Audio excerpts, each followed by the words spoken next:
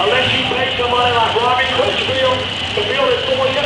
He builds one as good a price as you're ever going to find, and he is a professional race track builder in Liberty, North Carolina. You saw him put that tractor on the wall down here and pick up the superstar division. So here we go.